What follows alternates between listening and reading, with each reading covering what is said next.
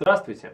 Сегодня Игровед расскажет вам о настольной игре «Хрясь», в которой шайка искателей приключений отправляется за очередным сокровищем, штурмуя башню, полную монстров. Вся игра уместилась в небольшой неформатной коробке, в которой укрылось игровое поле, два квадратных планшета, две дюжины золотых и две колоды различных карт. Игра отлично сбалансирована для четырех игроков, поэтому если не хватает одного или двух, их заменяют специальные планшеты. В середину стола кладется башня, которую венчает горсть золотых.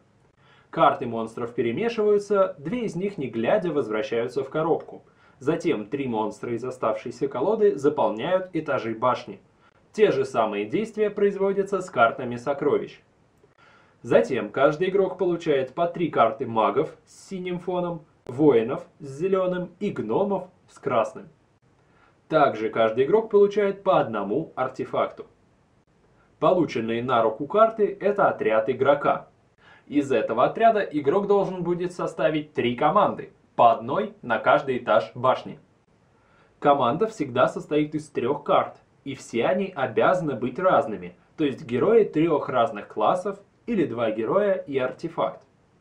Отправляя бойцов на первый этаж, игроки трижды тайно выбирают по одной карте и выкладывают их перед собой, одновременно вскрывая.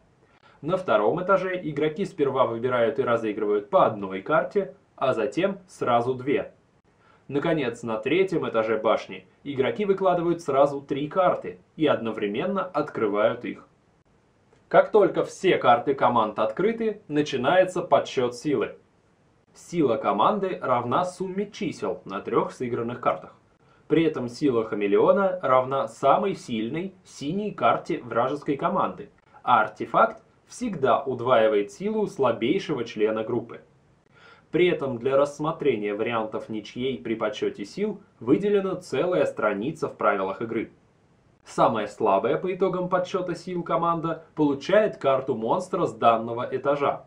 В углу этой карты обозначено количество победных очков, которые потеряет владелец данной карты в конце игры. Также в игре есть 6 троглодитов. По одному они не опасны, но принесут тем больше штрафа, чем больше их насобирает игрок. Самая сильная команда забирает себе карту сокровищ этого этажа, приносящую победные очки. Впрочем, среди сокровищ не всегда бывает золото. Встречаются кольца всевластия, приносящие победные очки за их количество, эликсир, позволяющий избавиться от монстра, и даже военный трофей, приносящий по два победных очка за каждого монстра у игрока. Также иногда сундуки оказываются проклятыми, которые победные очки отнимают.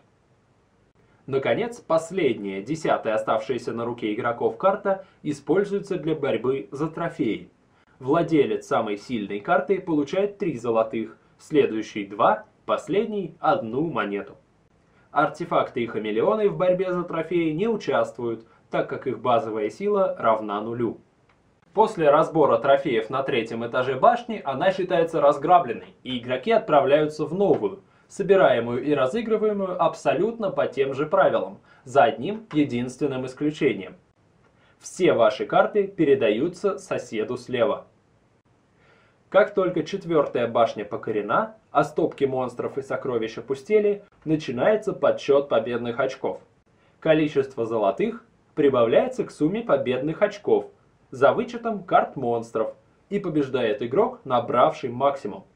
Хрясь – это забавная настольная игра для любителей фантазийных приключений, которые, однако, не готовы долго вникать в правила или тратить на игровую партию более 30 минут.